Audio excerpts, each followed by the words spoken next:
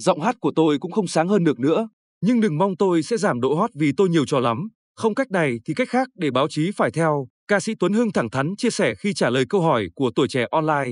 Khá lâu sau tuyên bố tạm ngưng hoạt động để tập trung cho gia đình, chăm sóc các con, chiều ngày 12 tháng 10, ca sĩ Tuấn Hưng mới có buổi gặp gỡ báo chí nhân dịp anh và Thanh Lam sắp tổ chức live show chung có tên Chị Tôi, diễn ra hai đêm 29 và 30, 10 tại Cung Hữu Nghị Hà Nội Cung Văn hóa Hữu nghị Việt Xô. Dù có điểm đạm hơn sau khi đã là ông bố ba con và trở thành Phó Chủ tịch Hội nghệ sĩ trẻ Hà Nội trực thuộc Hội Liên hiệp Thanh niên Việt Nam thành phố Hà Nội, trò chuyện với báo chí lần này, Tuấn Hưng vẫn khá thẳng thắn, thậm chí ngông cuồng như anh biết mọi người có thể đánh giá. Trả lời câu hỏi của tuổi trẻ online vài năm trước Tuấn Hưng đã tuyên bố tạm ngừng hoạt động nhưng nay lại tổ chức live show mà đã biết trước 100% là lỗ là vì điều gì. Nam ca sĩ cho biết đây là thời điểm anh trở lại với âm nhạc. Với câu hỏi của tuổi trẻ online có phải chương trình góc ban công gây ồn ào trên truyền thông thời gian qua chính là sự chuẩn bị cho live show sắp tới, Tuấn Hưng nói mình chỉ sở hữu giọng hát trung bình khá, anh chỉ hát bằng bản năng, nhưng lại có nhiều bản hit, có lượng người hâm mộ đủ để làm show, không cần đến ồn ào góc ban công để hút khán giả. Hưng rất biết cách duy trì sức nóng của mình bằng cách này hay cách khác.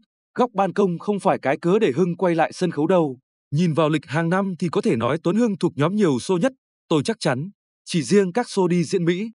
châu Âu đã hết một nửa thời gian, Tuấn Hưng không khiêm tốn nói. Live show chị tôi sẽ có khoảng 20 ca khúc là các bản hit của hai người được phối mới mang màu sắc đương đại hơn và sẽ có những bản song ca thanh lam, Tuấn Hưng,